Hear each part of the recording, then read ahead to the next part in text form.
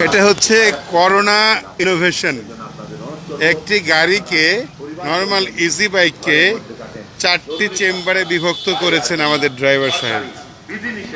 ওখানে একটি চেম্বার দেখলাম, এই একটি চেম্বার, এই পাশে একটি চেম্বার, এরপরে এখানে একটি চেম্বার। ড্রাইভার সাহেব একাকি বসে আছেন। ইনোভেটিভ আইডিয়া নিঃসন্দেহে। ধন্যবাদ।